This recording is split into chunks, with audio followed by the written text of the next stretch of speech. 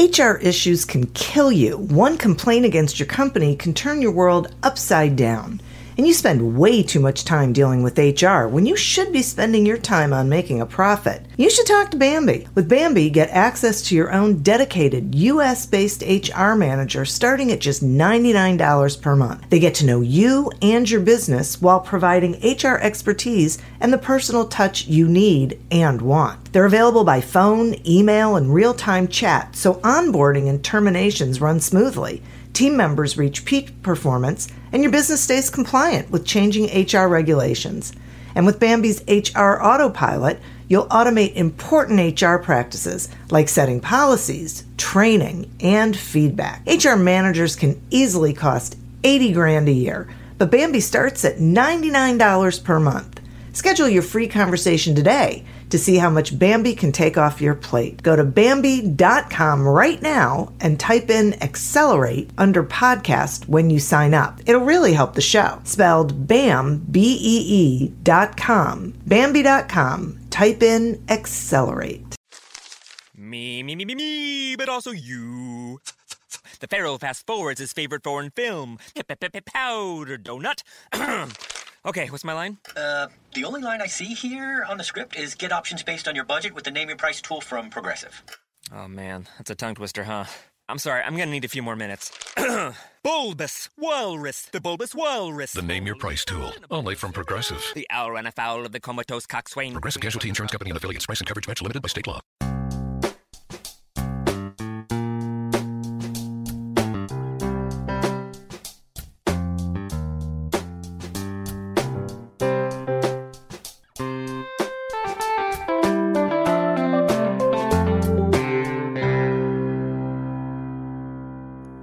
Welcome to Accelerate Your Business Growth with your host, Diane Helbig. Diane is a leading small business development and leadership coach, author, and speaker who is passionate about sharing valuable ideas, tips, and techniques with business professionals worldwide. Diane brings you the world's experts and gurus in all things business, whether it's sales, structure, social media, planning, or plateauing, guests bring their expertise and energy to each episode. When growing your business is your focus, Accelerate Your Business Growth is the show to listen to. Got a topic or guest suggestion? Let Diane know. The goal is to make sure you have the information you need to move your business forward. Thanks for joining us. Settle in and enjoy. Hi, everybody. Thank you so much for joining me. Today's podcast is sponsored by Audible.com. Audible.com is a leading provider of spoken audio entertainment and information. Listen to audiobooks whenever and wherever you want.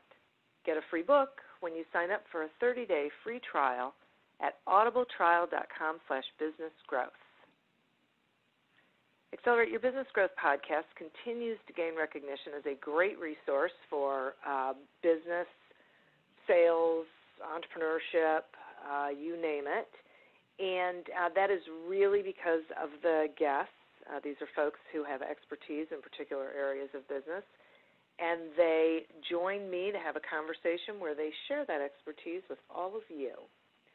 That way, you can get what you need and implement it in your business so that you can realize greater success.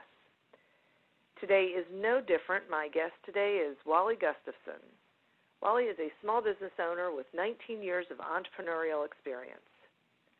He had investors in a startup company that eventually failed. He then created, without investors, a basement business that turned into a multi million dollar online retail business. He's seen a 10 year trend of 25% year over year growth be followed by four years of 30% decline. Wally has learned more about business through his failures than his success. Thanks so much for joining me today, Wally. Hey, Diane, thank you so much for having me. It's an honor to be on the show, and I'm excited to talk to you today. Excellent. Well, I am as well. Now, um, I, I want to dive right into um, uh, for people who are launching either a, a product or a business, and I'm wondering if you would share with the listeners your number one rule that you think people should follow when it comes to actually launching new business, new product? Sure, absolutely. So for me, my my number one rule, my litmus test is worst case scenario is always zero. So I sell products. So through the years, I've had a lot of people come to me uh, that are thinking of starting to sell a product, and they'll say, "Hey, this is what I'm thinking. I'm going to do this. Here's my price." And worst case scenario, I'll just mark it down to the cost. I'll liquidate it, and I'm not really out anything. Or I'll sell it slightly below the cost of the item, and then I'll just lose a little bit of money. And I would argue that those aren't really even close to worst case scenario. So, what I mean by worst case scenario is always zero, is that you've got to be willing to put the time, energy, resources, everything into a product or service and generate absolutely zero sales. And that's the litmus test that I use. So I ask myself, am I willing to invest time and resources into this product and lose every dollar and minute I put into it? And if the answer is yes, then I proceed. And I'll tell you, there's a couple of important distinctions I want to make there, Diane. It's that I don't want people to hear me saying that um, go into it thinking you're not. No, I, that's not what I'm saying. I don't go into anything thinking this isn't going to work. I've just recognized that it's a possibility. I think it's important for people to remember that. Second thing is, it can sound a little negative. So when you say worst case scenario zero, I can understand how that could maybe scare someone and say, well, maybe I don't want to try this. How about this? Just say it this way What's the worst thing that could happen? And so I use this lesson with my kids all the time. I think it's super practical, where I'll just say, What's the worst thing that can happen? Worst case scenario is always zero. I think it applies in business and in life, and I found it to be very helpful in a way for me to feel comfortable going into any new venture. Got it. I think that's a great, excuse me, philosophy to have. Um, and and it and I like that it's a litmus test because it sort of gives you an idea of whether you should even venture forward, right? If if you can't go there, then that tells you something about your belief system in in the product or or service or business. No, absolutely. And Diane, I, my guess is that you've heard lots of small business owners say worst case scenario before. I mean, it's a term we throw out a lot. And it's just something that I just constantly remind myself. Worst case scenario really is truly zero. All expense, all time, no revenue. Right. What I will, I'll throw one other thing in here. I will sure. tell you though that even when I've done something and it generates zero or next to zero in sales, I've always found it a super valuable experience.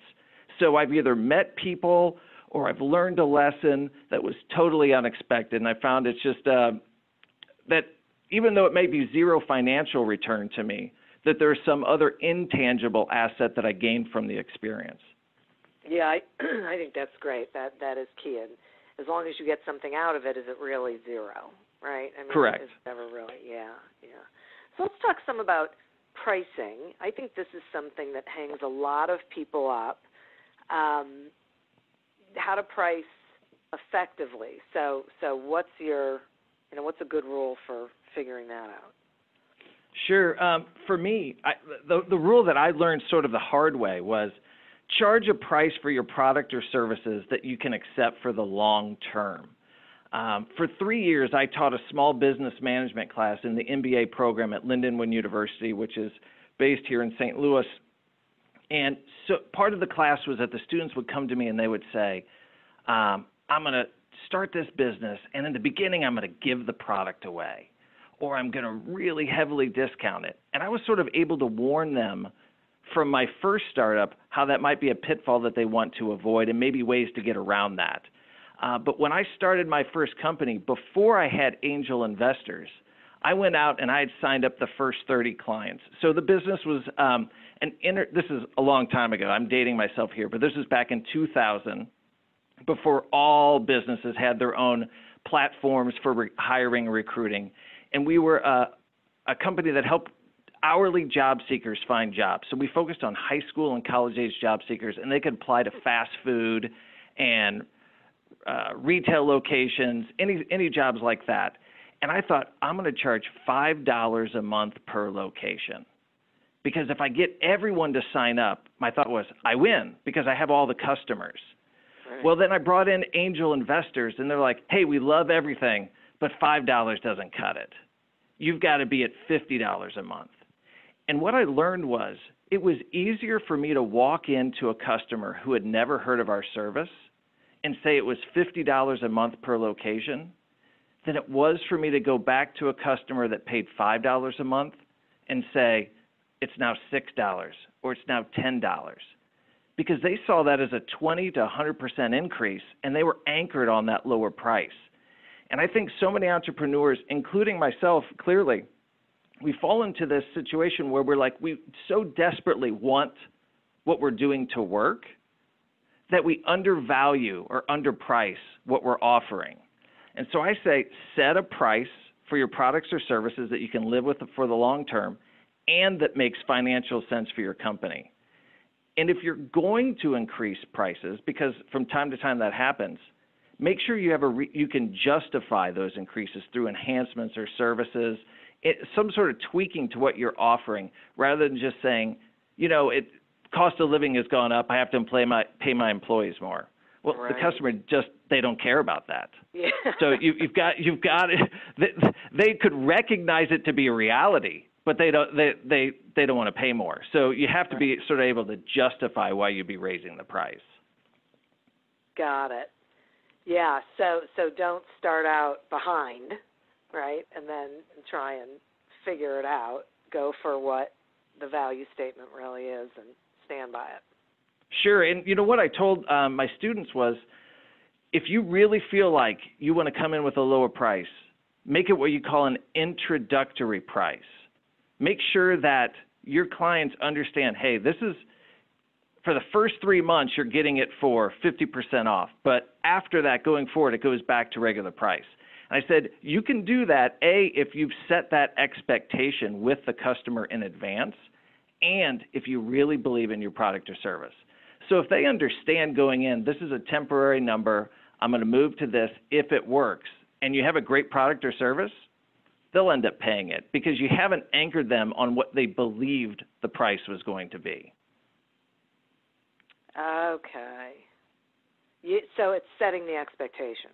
Correct. If if if you're going to do something like that, I would tend to say just start with the price that you believe it should be. But I do know that some people are like, no, I just I need a few customers. And sometimes when you're starting, those first few customers are so important because you can leverage their name to then land other customers. And I get that. Right. Okay. All right. So you say that false modesty is bad for business owners, and I'm wondering if you would expand on that. Yeah, and, and I would say that's probably one of the biggest challenges, um, it's been one of the biggest challenges for me. And so I say be humble, just be careful not to cross that line. And sometimes I have crossed that line. So be willing to explain what it is that you do. So instead of, if someone said, hey, Wally, what do you do? Up until, I mean, literally, Diane, maybe a year ago, people would say, what do you do? I wouldn't say, look, I run a small retail company. Um, I'm in charge of all apparel, product development. I work with overseas manufacturers. Going into some quick but detailed information, I would just say, hmm, I buy stuff and sell it online. That's it, nothing special and because I, I just was like, ah, I don't want to make a big deal of this. What happens though, if you start sort of presenting yourself that way to enough people, they start believing that you're not anything special. So down the road, you want to work with someone, you have you you want to ask them for support, you want to sell them a product or service. You've sort of created that how that what their perception of, of you is going to be, even if that really isn't the perception. So I'd say in many times, false modesty is real people feel confident in what it is that they do. They're just truly being modest. I'm saying avoid that situation where it's almost where you're turning it becomes sort of an imposter syndrome where you're saying, even though I've had success, it really isn't like the success of other people. Be confident up to the level to where you've actually to what your experience would dictate. Don't overstate it, but definitely don't understate it. Got it. That is great advice. All right, now I, I want to shift gears a little bit because mm-hmm. I am really curious about um, your beliefs around customer service. Okay. Sure. You know, uh, we decided early on that we were going to treat customer service as a cost of doing business. That we were going to avoid looking at the cost to fix a customer's problem relative to the order value. And instead, we were going to ask ourselves, what would I want done if I was this customer? And then just hope that we could accomplish that. And so here would be an example. A customer buy a shirt from us from $30 for $30, pay $5 for shipping, so they got 35 bucks. Our shipping partner would say the package was delivered on X day and left on the front porch, and they would call us and say, I don't have it. And we'd go through the standard, okay, did you check here? Did you check with your neighbor? They're like, look, I don't have it. And then they would compound the situation more by saying, that was a gift for my dad for his birthday and his birthday is tomorrow at 5. We're going to his house tomorrow at 5, and I really need it by 10 a.m. tomorrow. So if we looked at it relative to the order value, we'd say, boy, we got the cost of the shirt, the cost of next day air to get it there by 10 a.m. tomorrow. That's going to cost us $70. We could just then say, well, here's what we're going to do we're going to issue you a refund. And I guess technically, we're doing sort of the right thing because we're, they're not out any money. But what. I'd say is we haven't fixed their problem. So, yeah, they have their money, but they wanted that item. Now they still have to go scramble to find the product. So we've said, look, it's a cost of doing business.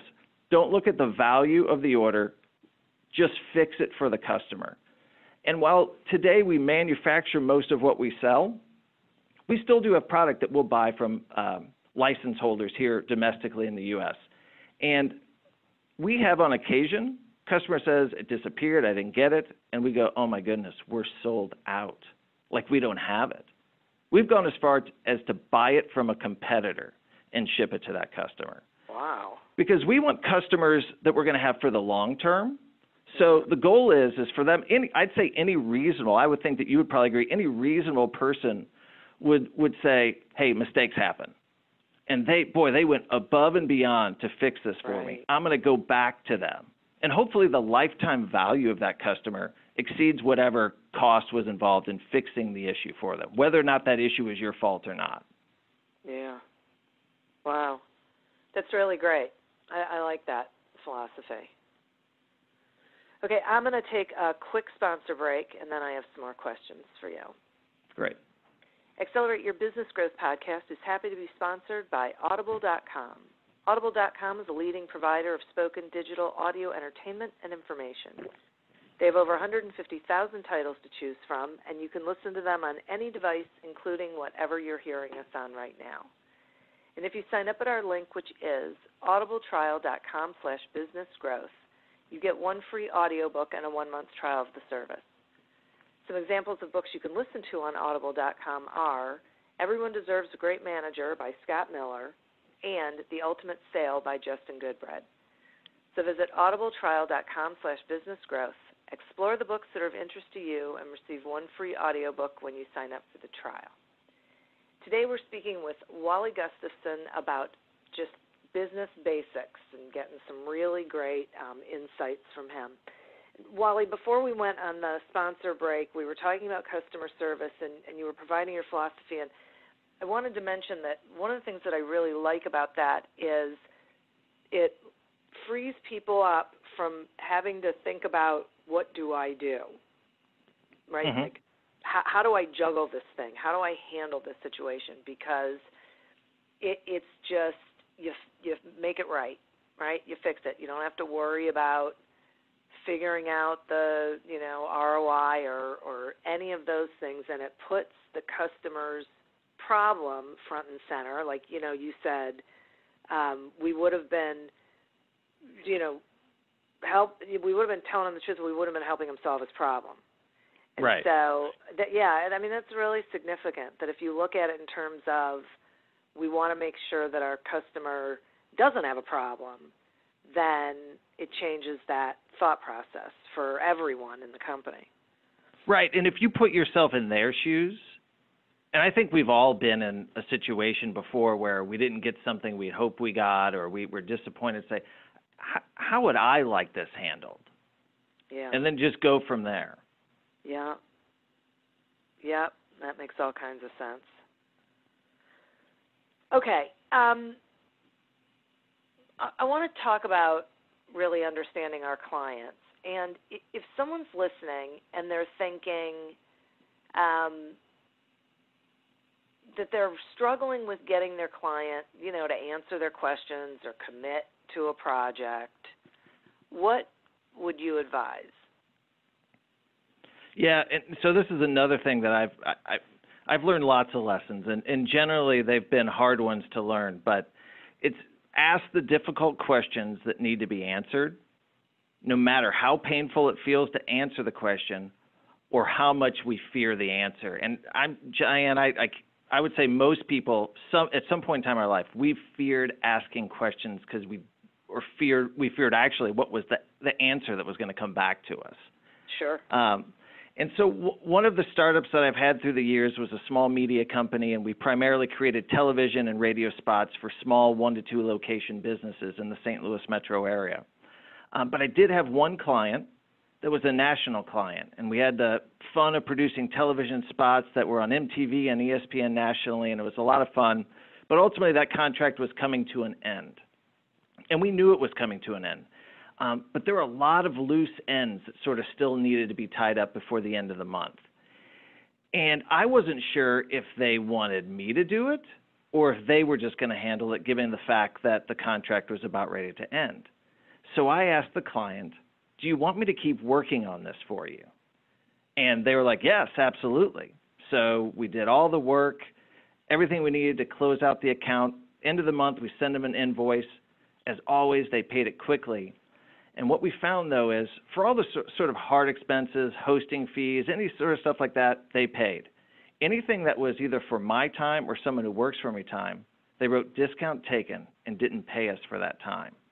Wow. Then they stopped taking our calls. They wouldn't respond to emails. But you know, Diane, the, the person who was really at fault was me. Because I asked them, Do you want me to keep working on this for you? When really, what I wanted to know was, Are you going to pay me to keep working on this for you? So my fear of maybe they aren't going to pay me. So I wasted a month. I could have invested that month's time with other clients, landing new jobs. Instead, we spent it there and we didn't have any money. And honestly, I also made it really easy on them because they could justify their action by saying, he only asked, Do you want us to work on this? He didn't ask us if we were going to pay him. So I gave him an out and I didn't ask the question that I wanted answered. And that was a big lesson for me. So, as tough as it is, I encourage everyone just bear down, ask the question yeah, yeah, that is tricky.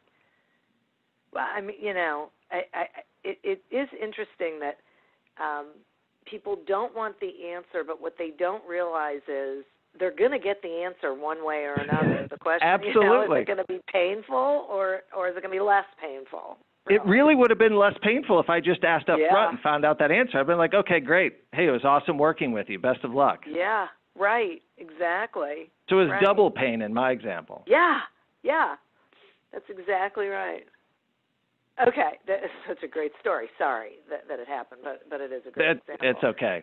I'm here. I, my pain is for your uh, listeners uh, to not yeah. have to go through that. right, exactly. Right.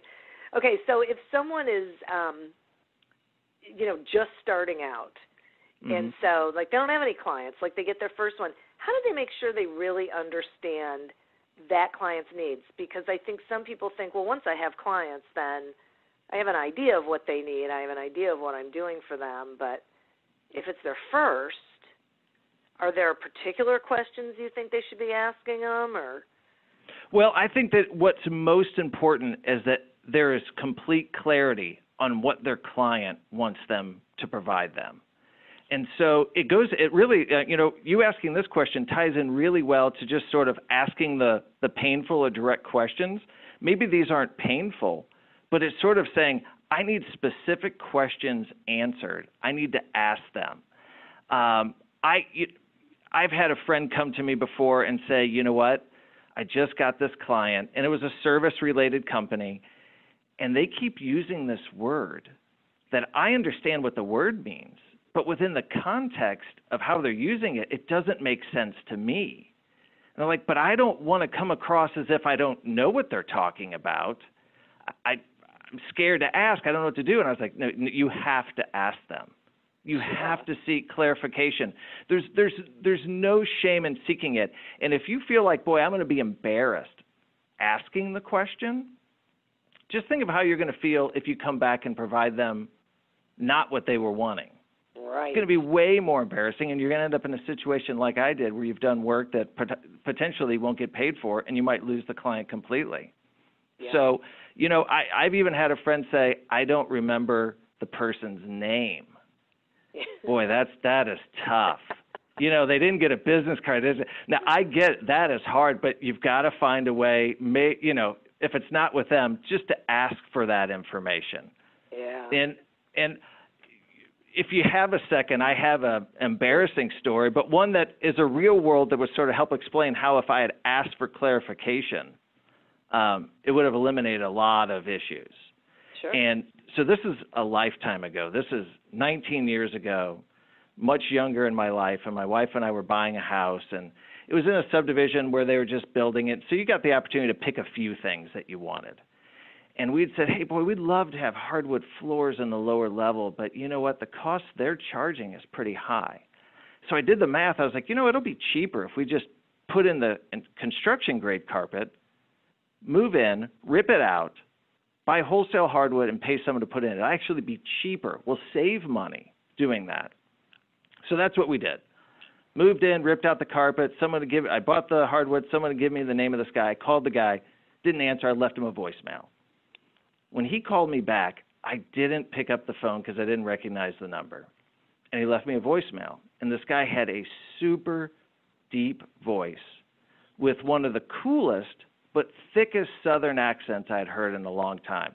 And my mom grew up on a dairy farm in a town of four, 400 people in the hills of Virginia. So I've heard a lot of southern accents. and this guy's southern accent was super thick. But basically he said, you know, I can't do the job, but call this company. And he said to ask for Buzzard Joe. So that should have been a trigger for me. I should have thought, mm, Buzzard Joe does not sound like what I should be asking for. But what I allowed was, I don't know this guy. Do I really want to bother him with calling back and asking him, is that really the name? And I also just said, boy, this sounds like a real manly man from the South. I bet he does have a friend named Buzzard Joe. So pick up the phone. I call the place. I said, um, so and so told me to call you. Here's what I'm looking for. And I was told to ask for Buzzard Joe. And it was like silence on the other end of the phone. And the guy finally replies, It's Buzz or Joe. and I was like, oh my goodness. So now I have the embarrassment of saying Buzzard Joe oh. when I could have eliminated this by just yeah. picking up the phone and saying, I just want to confirm that that's who I'm supposed to be asking for. So while this isn't like like a business problem, it certainly yes. sets the tone for me to say from now on, I'm asking when I don't know what the person said. Exactly. That's hysterical. okay. I want to sort of shift gears um, and ask for your input on why you think most small businesses never take that next jump in size, like to mm-hmm. medium or medium to large or even straight to large. What do you think's going on there? So there could be a myriad of reasons for sure. Um, for some, it was never part of their plan. They they wanted a small business, steady income, less work, less uncertainty. That's totally awesome. Unfortunately for many, it's because as entrepreneurs, we can't get out of the way. We're control freaks. So we started the company doing everything and we can't relinquish the responsibility to others. And so we become bottlenecks when it comes to sort of getting things done. And I've always said, you know, be the heart of your company, breathe life into your company, but let others, when possible, become the arms and legs that sort of get the jobs done. Um, so I really think relinquishing control is a big challenge for business owners, and it's why it's it's not a guarantee for success. But I will tell you that if you try to do everything yourself, it is almost a guarantee that you won't grow past a certain point because you just physically won't be able to get the job done. Yeah, right. Right. you only have so much bandwidth. Correct. Well, don't don't you think that, or do you think I shouldn't I shouldn't lead you? Do you think that um, w- when people relinquish some of that control, they also invite in fresh ideas and viewpoints and ideas? Oh my goodness, for sure. So I mean, it's it is so you learn so much because everyone looks at problems differently. They come at them from different angles. And Yeah. so what you find is maybe you don't agree with everything, but boy, you can hear, "Hey, I've got this idea for how to do this or this is how we do it." And you'd be like, "Oh my gosh. They just cut the amount of time in half to do something I was doing because they had different experience, they had different expertise, they looked at the problem differently than I did. So for sure, you're you're 100% correct there. Okay, that's great. And I'm glad that we had that conversation because I know a lot of small business owners who are very nervous about giving up any sort of control. And one of the things that they'll say is, um, well, they're not going to do it like I do. And my response is always, you're right, they're not. But as long as they do it at least as well, you can't care. It's not about how it gets done; it's that it gets done. You know, as, as long as it's legal, ethical, and moral For but, sure. You know, past that, you, Right. you gotta you, you gotta be open to it. Different isn't always bad. It's just different. Yeah. Right. Right. It can be great. Absolutely. Yeah. Right. Okay. Are there any um I'll say unforeseen dangers of becoming an entrepreneur? I am sure that through your experience, you've talked to many entrepreneurs that have had unexpected consequences that you know that they didn't factor in. I think the one that hit me the most that I never would have considered is isolation. And so I found that I became so focused on what I was trying to accomplish that I sort of went into a little bubble. I would go into the office, I would do my job, I would go home. And it was like I looked up from my desk 10, 15 years later and I was like, um, I don't know anyone. I I've just been doing this. I don't have a I don't know anyone who's doing the same thing I'm doing. I don't know other people in the business world. I have spent almost no time getting out there and meeting other people. And so from that, I've taken this challenge and I'd love to encourage every small business owner and entrepreneur to network. But I, w- I want to make a slight change to it. Um, and for lack of a better term, I, I call it networking with a twist. You can call it whatever you want. But I used to treat networking as a very inward focused event. Hmm. It was, what can you do for me? You know someone, you have a piece of information, you have a skill, expertise. And I would argue that really what I was doing was I was just asking for a favor, which is totally fine. But networking, really, from my perspective, should become more of a way to create a connection. So I learned a lesson from my business mentor, and I try to use this in every single networking conversation I have. And I ask them this question What can I do for you? The moment you ask someone that question, it changes the dynamic of the meeting. Now you're putting yourself in a position of service, you're creating a real connection. And, and let's face it, not everyone is going to take you up on that. Right. But I, I've found a lot of people do. So I've had phone calls from people that I met with saying, Hey, I know someone who's thinking about selling on Amazon. Would you talk to him? Absolutely. Had someone say, I know a co- this guy who uh, is looking to develop his own private label business and he doesn't understand how to get a hold of manufacturers. Would you talk to him? For sure. My wife is thinking about starting a business. She's just looking for someone to tell her some of the pitfalls that might, you know, things that she should look at. Would you talk to her? Absolutely. And then the other thing that I do when it comes to networking that I would encourage people to do is stay in contact with them. Because if you really are networking to create a connection, I'm trying to create a real ongoing connection. They aren't always friendships, but they're very nice acquaintances. And so I update them every probably two months with what's new in my world, any new connections I've had, and I go as far as to send. And I'm not saying everyone needs to do this, but I've gone as far as to send out. I send out a networking tree. So I list all the people I've met, what they do, and I tell them what they did for me.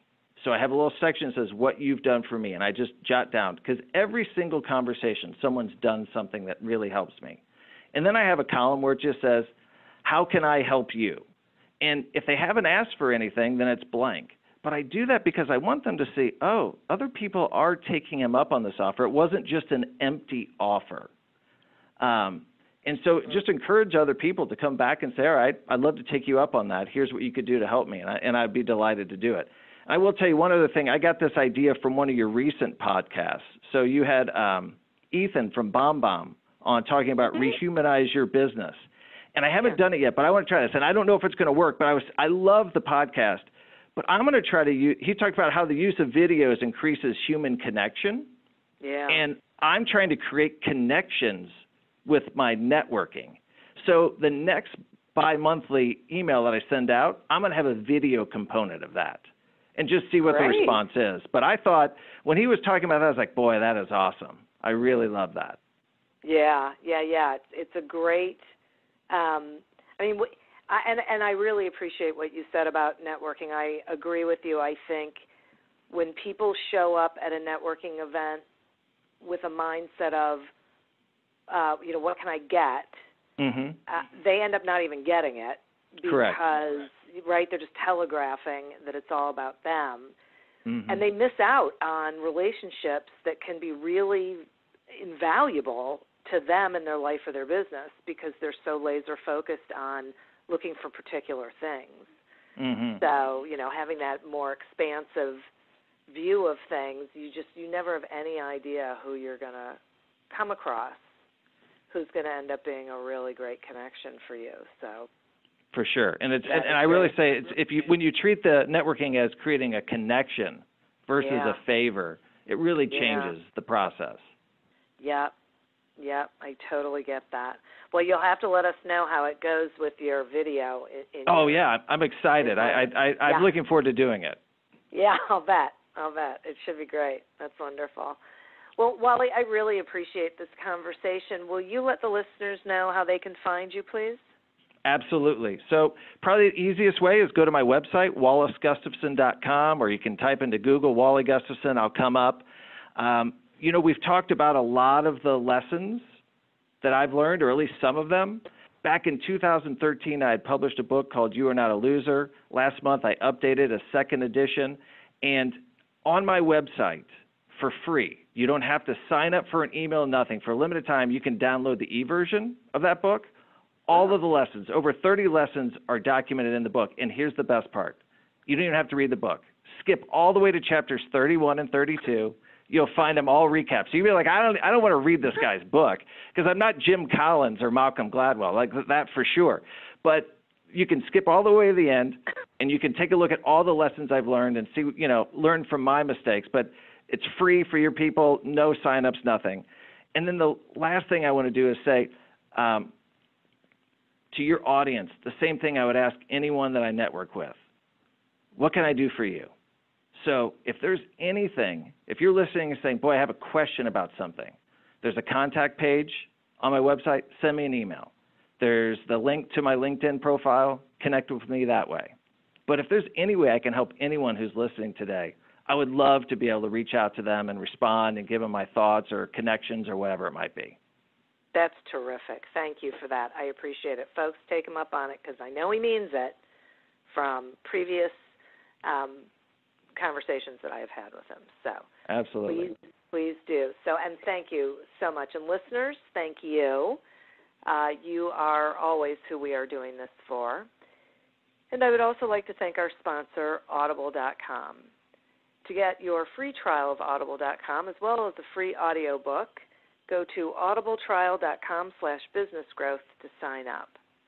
As always, continue to prosper and be curious. And until we meet again on another episode of Accelerate Your Business Growth, goodbye and good day. Me, me, me, me, me, but also you. The Pharaoh fast forwards his favorite foreign film, Powder Donut. okay, what's my line? Uh, the only line I see here on the script is get options based on your budget with the name your price tool from Progressive. Oh man, that's a tongue twister, huh? I'm sorry, I'm gonna need a few more minutes. bulbous Walrus, the Bulbous Walrus. The Name Your Price tool, only from Progressive. The owl ran afoul of the comatose coxswain. Progressive Casualty Insurance Company and affiliates. Price and coverage match limited by state law.